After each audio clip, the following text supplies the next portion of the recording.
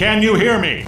Congratulations. You were the world's first half man, half machine police officer.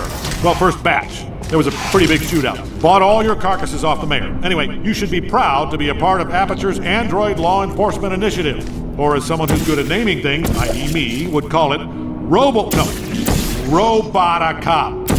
Oh, that's much better. Now, before we get you solving crimes, we gotta get you to solve this test. Promised the mayor I'd make sure you weren't all unstable potato heads before I gave you all guns.